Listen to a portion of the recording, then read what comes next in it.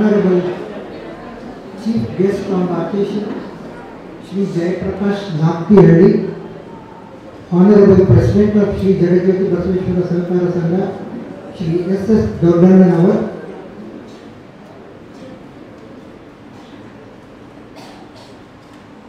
Honorable Directors of the Managing Committee, Shri Shashikant Kulkarni, Shri Mahesh Sajjanar and Shri Ravi Shankar Dodmani and dignitaries on the dais, respected principal and his staff, and stars of this occasion, dear students.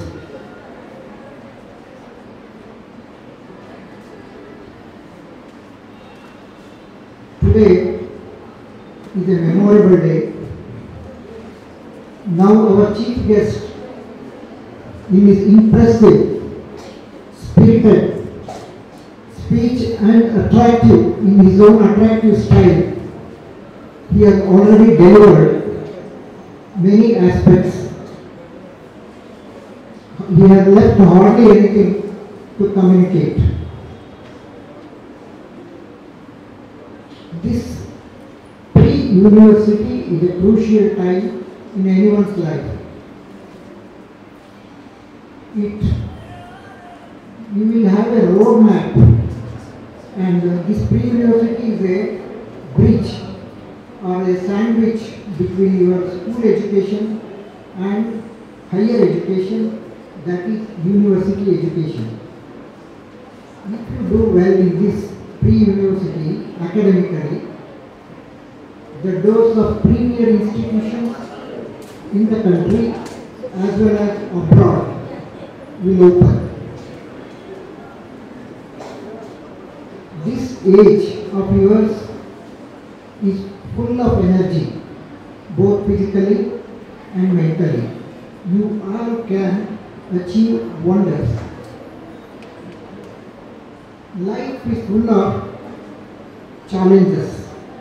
Education is also one of the challenges, especially the pre-university, because it gives direction, it gives a platform and launch pad to further your studies or to decide the goals in your life. Education is not everything. Additionally, you need to excel in sports and cultural activities. Sports will bring in the discipline, fitness, and team spirit. Cultural activities bring in community spirit and creativity. All these qualities are needed and education in a holistic sense. A true education is empowering you to take good decisions because life is full of uncertainties and unpredictables.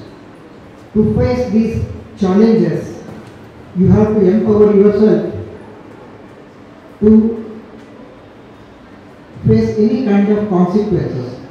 For that, this hard work, dedication, commitment, and on top of this, you need to have smartness because today's world is a very competitive world and to meet that competition, you have to take all the decisions smartly.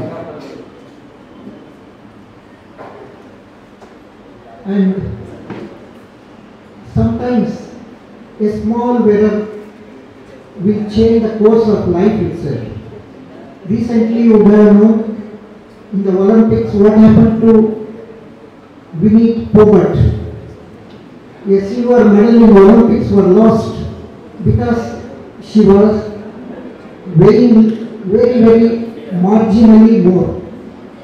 So we have to be very careful in whatever we do.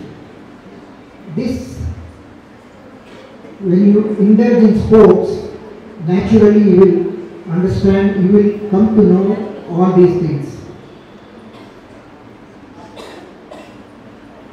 Our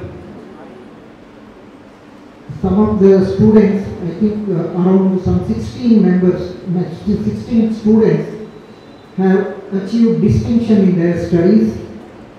I would like to congratulate them on behalf of development committee and as a one of the director of the management. And new students new young minds have joined our institution and we I extend warm welcome to them. We have a talented pool of lecturers who explore the possibilities and potentialities of students who are studying in our college. Finally, I wish all of you the very best and thank you for giving me an opportunity Espírito Santo.